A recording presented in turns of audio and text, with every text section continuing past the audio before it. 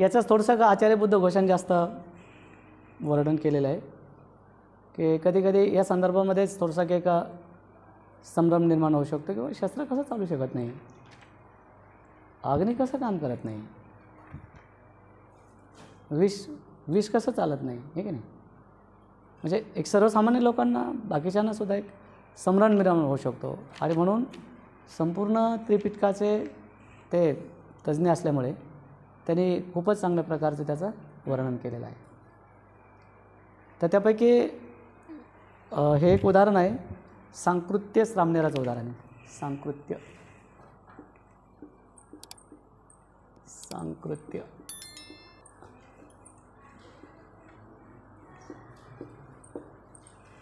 सांकृत्य सामनेराचं उदाहरण आहे. याच्या जन्माची कथा पण तशीच आहे. जन्माची कथा अशी आहे की थोडक्यात याची आई वारलेली असते हा पोटामध्ये असतो. तर ती पूर्ण मृत्यूला प्राप्त झालेली नसते बेशुद्ध झालेली असते. पण ते लोक मेली म्हणून स्मशानभूमीमध्ये आणून त्या व्यक्तीकडे ते पूर्वीच्या काळात ते पैसे घेसे जे काय असेल ते देऊन टाकत होते. मग त्यांनाच लाकडं आणायचे त्यांनाच जाळायचं आणि हे लोक निघून जायचं. मग अशा प्रकारचं तिला अग्निदहन दिलं आणि ते निघून गेले. ते सर्व बाजूनी जळाली पण तिचा गर्भ नाही जळाला. मग हे लोक विचार करू लागले ते झाले ते स्मशानभूमीतले की हे काय? मग त्याने भाला घेतला. भाल्यानं मग ते असं हे करू लागले. तर त्याच्यातून बाळाचा आवाज आला. म्हणतो अरे हे जिवंत आहे. पण ते भाला टोचता टोचता त्याच्या डोळ्याला लागला. मग तो डोळा त्याचा काना झाला. काना झाला म्हणजे बारीक म्हणा काय म्हणे ना. त्याच्यावरून त्याला संकृत्य नाव देण्यात आलं. मग त्याने काय केलं की त्या बाळाला उचलून आणलं. म्हणजे बघा अग्नीच्या निखाऱ्यातून त्याला उचलून आणलं. काय नाही झालं. आणि दुसरी गोष्ट असं म्हटलेलं आहे की ज्याच्यामध्ये अरंताचं बीज आहे की तो त्या जीवनामध्ये त्या शरीरामध्ये अरंत होणार आहे मुक्त होणार आहे. तर त्याच्या त्याच्या पूर्ण अंगावरती त्याच्या डोक्यावरती पर्वत जरी पडला तरी तो मरत नाही. कुठपर्यंत? जोपर्यंत मुक्त होत नाही तोपर्यंत. जर त्या जीवनामध्ये त्या शरीरामध्ये जर तो मुक्त होणार आहे अरंत होणार आहे तर असे किती गंभीर गंभीर त्याच्यावरती परिणाम येऊ द्या. संकट कोसळू द्या. तो सकुशल त्याच्यातून वरती होतो त्याला काय नाही आणि तो मुक्त होणार आहे सम्यक संबुद्ध म्हणतात अरंताचा प्रदीप त्याच्या चित्तामध्ये जळत आहे. तो त्याला नोर देत नाही. आणि म्हणून एवढ्या एवढ्या अग्नीच्या म्हणजे दाहकतेतून त्याला काढून घेतलं त्या लोकांनी. आणि मग तो वाचला ते बाळ. मग त्या लोकांना नेऊन दिलं घरी. त्याने ते सांभाळलं त्याला आमचं मोठं झालं त्याला सात वर्षाचा. सात वर्षाचं झालं त्याला त्याला कळलं त्याच्यावाला काय आहे ते सर्व. आणि तो म्हणतो मला प्रवर्जित व्हायचं आहे तर त्याचे आजी आजोबा लगेचच त्याला प्रवर्जित करतात. तो सात वर्षाचा असताना सामनेर बनतो सांकृत्य. सामनेर झाला की थोड्याच कालावधीमध्ये अरंत होतो मुक्त पण होतो. बघा. सात वर्षाचा आहे. अरण झाला मुक्त झाला. सारीपुत्त भंतेजीने त्याला दीक्षा दिली. सारीपुत्त भंतेजीचा हा शिष्य आहे. सांकृत्य आणि मग एक वेळची घटना की अन्य अन्य ठिकाणावरून भगवंताला भेटण्यासाठी भिक्षू यायचे भगवंताला अभिवादन करायचे कुशलक्षम विचारायचे. आणि मग नंतर स्वतःसाठी म्हणायची म्हणते आम्ही कोणत्या ठिकाणी जाऊन आता समाधीचा अभ्यास करावा? आणि भगवंताकडून कर्मस्थान घ्यायचे आणि भगवान ज्या ठिकाणी सांगतील त्या ठिकाणी त्याचा अभ्यास करण्यासाठी जायचे. तर तसे तीस भिक्षू त्यांची संख्या तीस. तीस भिक्षू भगवान बुद्धाकडे आले आणि भगवान बुद्धाकडे आल्यानंतर म्हटल्याप्रमाणे त्याने अभिवादन केलं. एका बाजूला बसले आणि मग म्हणतात बनते आम्हाला कर्मस्थान द्या. त्याचा अभ्यास करण्यासाठी आम्ही कोणत्या जंगलात जावं? मग भगवान त्यांना कर्मस्थान कर्मस्थान म्हणजे उपासना विद्या शिकवतात सांगतात. ते ग्रहण करतात. आणि जातात. ह्या गावावरून ते गाव ते गावावरून ते गाव. आणि मग असं एक गाव की ज्या गावातून जात असताना त्यांच्या चर्याला अनुसरून गृहस्थ लोक खूप प्रसन्न होतात आनंदित होतात. आणि मग म्हणतात म्हणते तुम्ही आमच्या इथे वर्षवास करा. आम्ही तुमची चारही प्रत्ययाने पूजा करू. पूजा करू म्हणजे आम्ही दान देतो तुम्हाला. तर मग ते म्हणाले आपण बी त्या शोधामध्ये होतो. आणि हे गाव असं आहे की बाजूला जंगल आहे. आपण तिथे जायचं ध्यान साधना करायची आणि तिथून याचं आणि चारिका करायची. चारिकून आले की चालेल ध्यान साधनेला? अशा प्रकारे. मग त्यांना ते सुविधापूर्वक वाटलं. बाजून अशी नदी वाहत होती. नदीचं मोठं पात्र होतं. पाण्याची सुविधा होती. ते थांबले भिक्षू लोक. ते तिथे थांबले आणि हे सद्गृहस्थ लोक त्यांचे खूप चांगल्या प्रकारचे सेवा करू लागले. त्यांना चांगल्या प्रकारचा पिंडपात सेनासन भेसज्य हे सर्व त्यांना दान करू लागले. आणि त्यांचं राहणं सुखपूर्वक झालं. पण ते आपसात बोलत होते तर मग परत त्यांनी निर्णय घेतला की आपण ज्या उद्देशाला अनुसरून इथे आलो तर आपण एवढे बोलू लागलो तो आपला उद्देश काही सफल होत नाही. भाऊ आता आपल्याला मौनाचं पालन करावं लागेल. मग ते कसं करायचं? तर मग गृहस्थ लोकाला सांगून त्यांचे सेपरेट सेपरेट निवासस्थान तयार केले. जंगल होतं खूप मोठी जागा होती.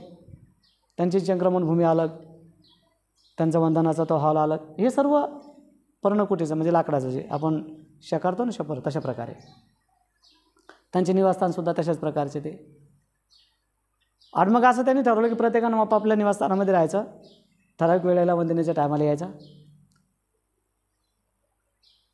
आणि जर कोणाला असुविधा होते जर कोणाला काही त्रास होतो मग तो तब्येतीला अनुसरून म्हणा किंवा अन्य काही संकट म्हणा काय असेल तर मग तिथं बेल लावलेली असायची. ती बेल वाजवायची सर्वांनी त्या ठिकाणी यायचे आणि त्याच्या समस्या जाणून घ्यायच्या. आणि त्या समस्याचं निराकरण करायचं. अशा प्रकारचं त्यांचं ठरलं आणि ते लोक बस आपापल्या निवासस्थानामध्ये जाऊन समाधीचा अभ्यास करायचे विपश्यना ध्यान साधना करायचे. मग हा त्यांचा क्रम ठरला. मग एक वेळचा प्रसंग की हे चारिकेवरून आले आणि नदीचं पात्र मोठं होतं तर वाळूवरतीच बसले भोजनाला. पाण्याची सुविधा होती? आणि मग तिथून रस्ता होता असा. तर रस्त्यानं जात असताना एक व्यक्ती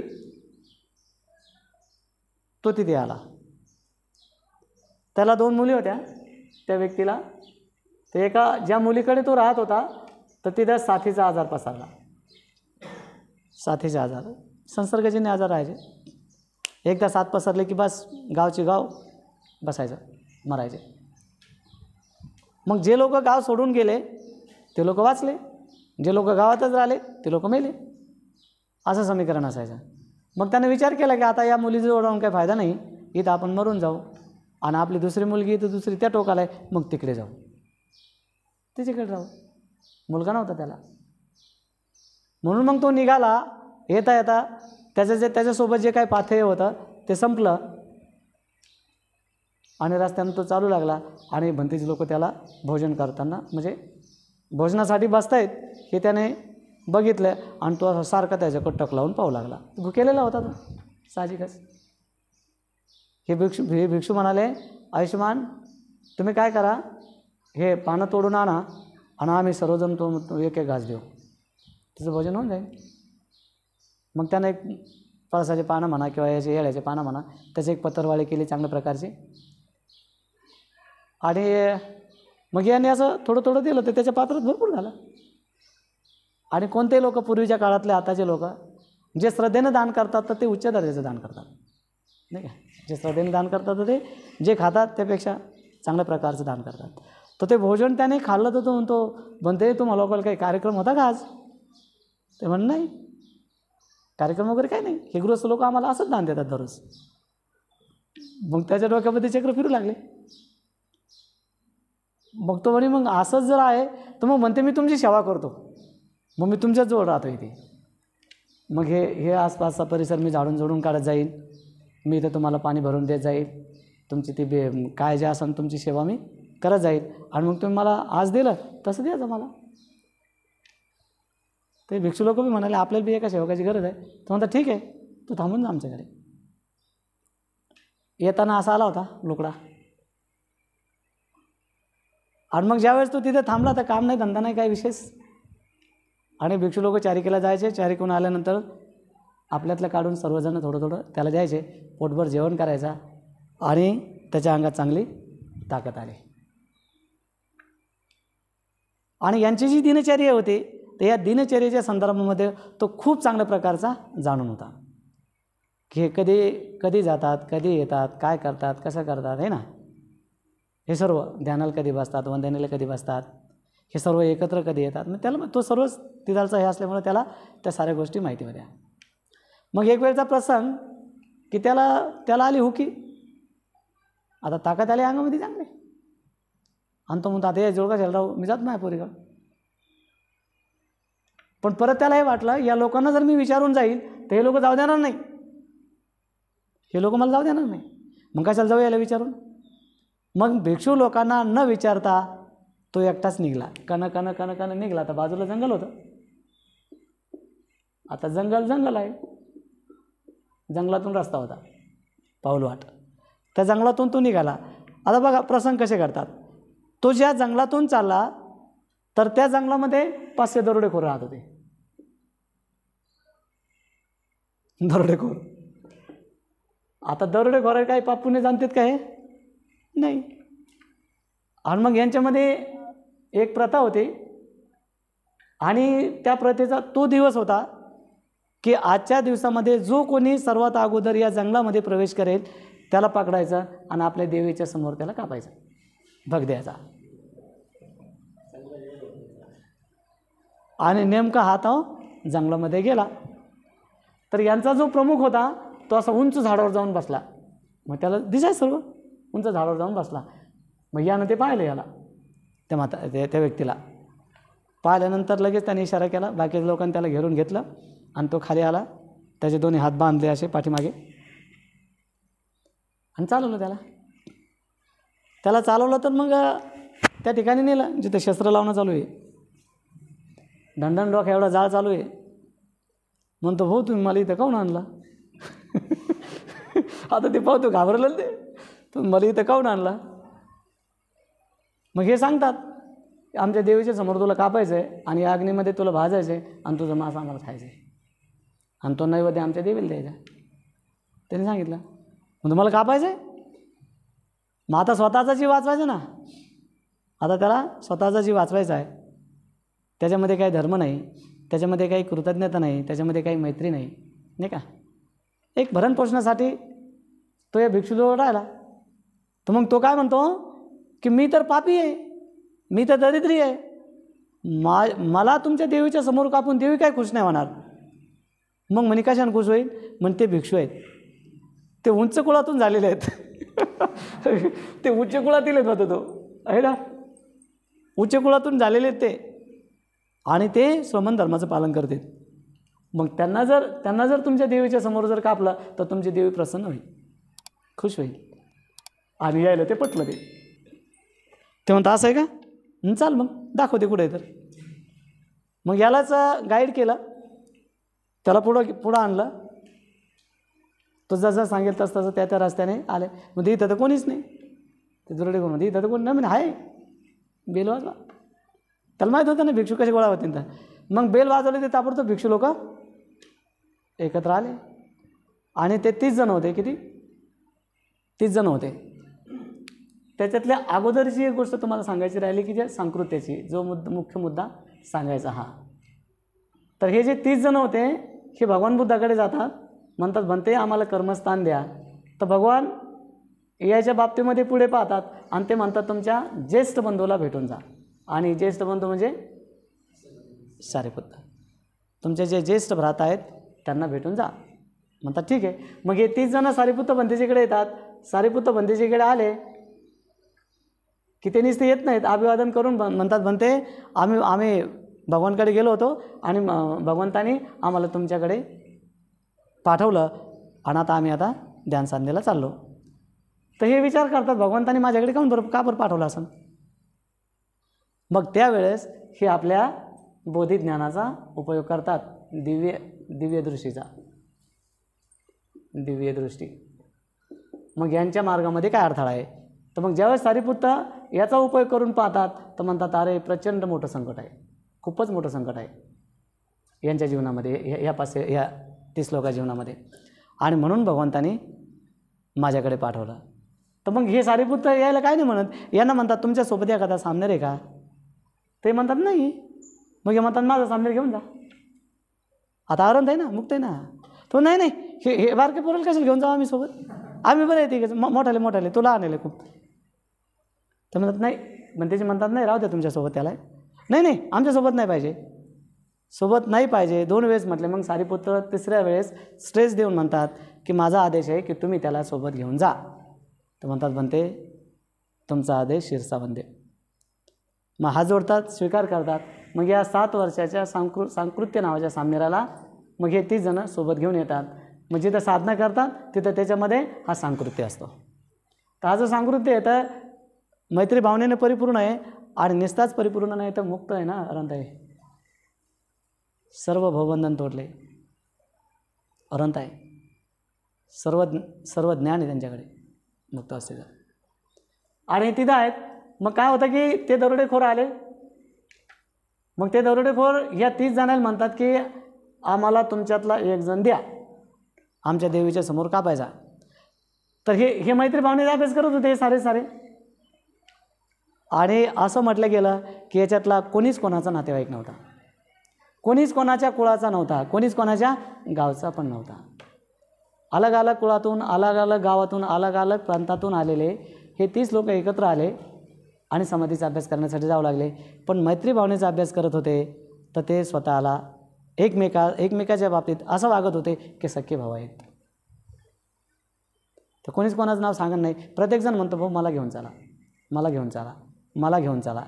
ते म्हणतात नाही तुम्हाला इतक्या जणांना आम्हाला एक पाहिजे फक्त एक पाहिजे. कोणीच तयार व्हायला नाही. एकटा जायला. म्हणजे कोणाचं नाव सांगायला. की कोणी म्हणा नाही की याला घेऊन जा म्हणून. असं असं कोणीच नाही. प्रत्येकजण म्हणतो मला घेऊन चला मला घेऊन चला. बस हेच. आणि हे दरोडेखोर काय म्हणतायत? आम्हाला फक्त एक जण पाहिजे. आणि मग यांची ही चर्चा चालू असते. त्याच्यामध्ये पंधरा वीस मिनिट होतात. आणि त्याच्यानंतर मग हा सांकृत्य म्हणतो तुम्ही कोणीच नका जाऊ मी जातो. हा किती वर्षाचा आहे? सात वर्षाचा आहे. सहा नाही सात वर्षाचा आहे. सहा वर्षाचा व्यक्ती अरंत नाही होत मुक्त नाही होत. अरंताचा बल तो पेलू शकत नाही. सात वर्षाचा पेलू शकतो. म्हणून सात वर्षाच्या व्यक्तीला प्रवर्ज देण्याचं प्रावधान आहे. राहुलाला सातव्या वर्षी प्रवर्ज दिली. आहे ना? त्याच्या अगोदर नाही. त्याला तेवढं स्मरण असतं की हे पाखरं धान्य खाऊ लागले. हे ढोरं धान्य खाऊ लागले त्याला उडून दिलं पाहिजे. हे आकलन असते त्याला सात वर्षाच्या व्यक्तीला.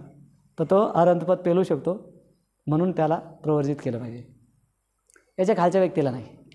मग त्याच्यावरचे किती काही चालतात? तर हा सात वर्षाचा सामनेर हा सर्वांना म्हणतो की तुम्ही कोणीच नका जाऊ मी एकटा जातो. मग हे म्हणतात नाही भाऊ तू सारीपुत्र म्हणतेचा शिष्य आहेस. आम्हाला ते काय म्हणतील? आणि तो एवढा लहान आहेस आम्ही नाही पाठवत तुला. आम्ही जातो. आम्ही नाही पाठवत तुला आम्ही जातो. शेवटी हे लोक काय त्याला जाऊ द्यायला नाही बाकीचे. आणि मग नंतर त्याला ते सांगावं लागतं की या संकटाला अनुसरूनच माझ्या आचार्याने मला तुमच्यासोबत पाठवलं या संकटाला मी दूर करेन तुम्ही काळजी नका करू. मग असं म्हटल्यानंतर हे थोडेसे एक स्थिर होतात. म्हणतात मग असं असन तर मग ठीक आहे.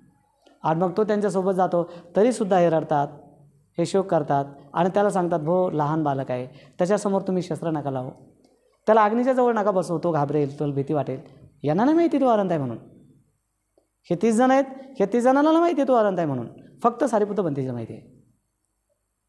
की तो अरंत आहे. आणि मग हे घेऊन जातात. तर बघा त्या म्हाताऱ्याला काही कृतज्ञता आहे का?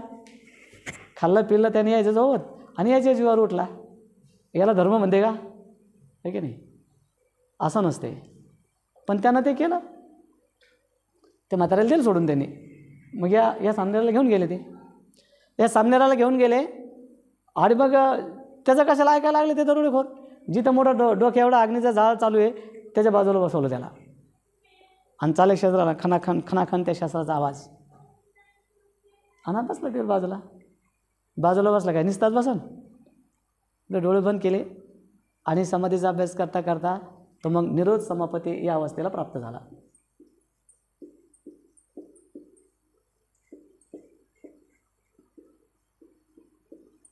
ही अवस्था अशी आहे की या अवस्थेमध्ये मग त्या व्यक्तीवरती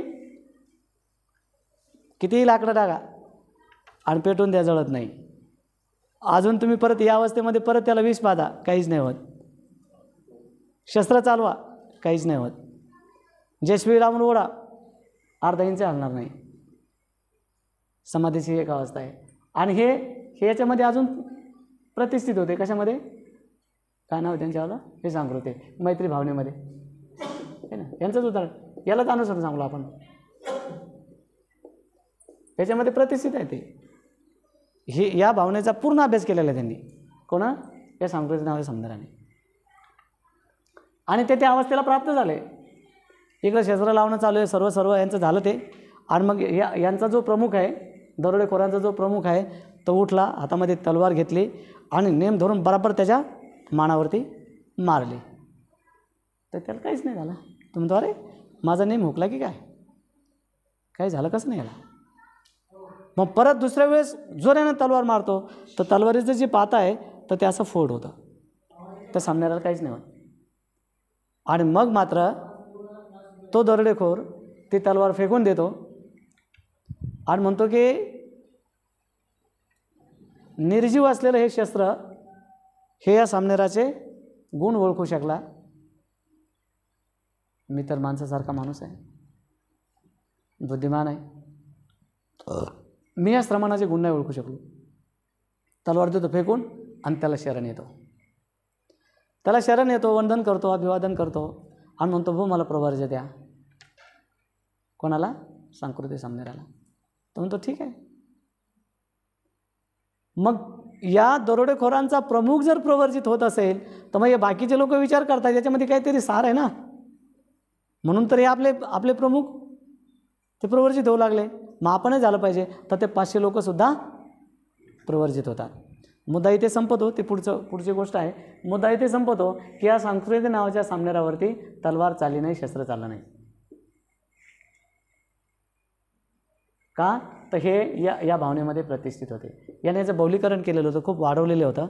परिणामी स्वरूप यांच्यावरती हे शस्त्र चाललं नाही. आणि मग ते विचार करतात की आता जर मी या पाचशे जणांना घेऊन परस्पर जर गेलो तर या तीस लोकांची साधना नाही होणार. ते विचार करत राहतील की आपल्या सामनाऱ्याचं काय झालं?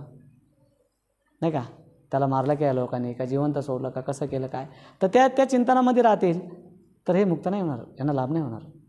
मग मी त्यांच्याकडून जातो. मग त्या पाचशे लोकांना घेऊन प्रवर्जित करून मग ह्या तीस लोकांकडून येतात तीस भंतीजीकडून आणि मग ते पाहता क्षणी खूप खुश होतात. हे काय हरण झालेलं नाही हे काय मुक्त झालं नाही. पण समाधीचा अभ्यास करत होते त्या मार्गावरती आहे. लगेच गेले पळत त्याला सामनेराला धरलं कवटाळलं. प तू कसा आहेस वगैरे वगैरे त्याचे क्षण. तर म्हणतो मी ठीक आहे. मग एवढे जण तू शिष्य बनवलेत. त्या संकटाला दूर करण्यासाठीच माझ्या आचार्याने मला तुमच्यासोबत पाठवलेलं होतं. आता याला घेऊन मी चालू बुद्धाकडे. आणि मग त्या पाचशे जणांना घेऊन तो भगवंताकडे येतो. भगवान म्हणतात सांकृत्य तू इतक्या कमी वयामध्ये पाचशे उपस्थायक बनवले? उपस्थायक म्हणजे शिष्य सेवा करतात ना? सेवा करणारे बनवले तो. मग तो स्मित हास्य करतो आणि त्यानंतर भगवान यांना अनुसरून मग उपदेश करतात की शंभर वर्ष शंभर वर्ष दुष्यलाचं जीवन जगल्यापेक्षा एक दिवस सिलवान होऊन जर जीवन जगलं तर ते कल्याणकारक आहे. कोणाला उपदेश करता? हे जे दरोडेखोर जे प्रवर्जित झाले ना त्याला अनुसरून तुम्ही शंभर वर्ष दुसरीला जीवन जगले तर ते निरर्थक आहे. पण एक एकच दिवस जर तुम्ही शील सदाचारामध्ये प्रतिष्ठित होऊन जीवन जगता तर ते कल्याणकारक आहे. तर ही कथा धम्मपत अट्टकथामध्ये आचार्य बुद्ध घोषाने त्याचा खूप छान अनुवाद केलेला आहे. आणि ते याला अनुसरून सांगितलेले आहे की जो व्यक्ती मैत्री भावनेचा अभ्यास करतो आणि निस्ताच अभ्यास करत नाही तर ती वाढवतो खूप. त्याचं बौलीकरण करतो ती अतिउच्च टोकाला नेऊन पोहोचवतो. तर त्यावेळेस त्या व्यक्तीवरती शस्त्र चालत नाही. त्यावरती त्या व्यक्तीवरती अग्नी चालत नाही आणि त्या व्यक्तीवरती विषसुद्धा चालत नाही किंवा काही परिणाम करत नाही आणि तो व्यक्ती सुखरूप राहतो. त्याची कुठल्याही प्रकारची हानी होत नाही किंवा जीवानिशी तो मृत्यूला प्राप्त होत नाही. तर हे या ठिकाणी मैत्री भावनेचा जे काही व्हॅल्यू आहे जे काही महत्त्व आहे तर ते सांगत असताना हे उदाहरण देऊन पूज्य आचार्य बुद्ध घोष यांनी त्याचं स्पष्टीकरण दिलेलं आहे. भगवान बुद्धांनी वेळोवेळी ज्या ज्या ठिकाणी उपदेश केला तर त्या त्या ठिकाणचे रेफरन्स घेऊन त्यांनी त्याचं महत्त्व सांगितलेलं आहे. आणि त्यानंतर मग जे बाकीचं आहे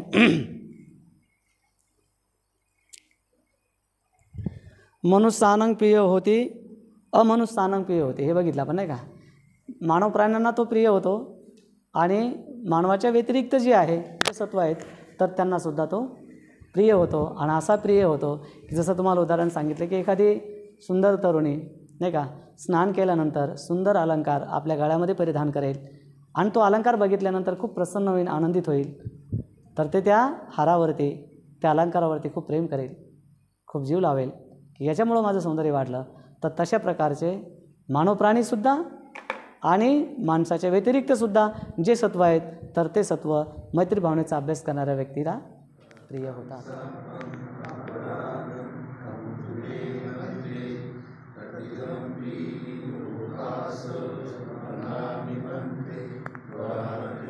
पान खमाने तुमाकं खमितब्बं इचिदं पचिदं तुम्मं कृपमेव समिचतु सदैव रहतु चित्त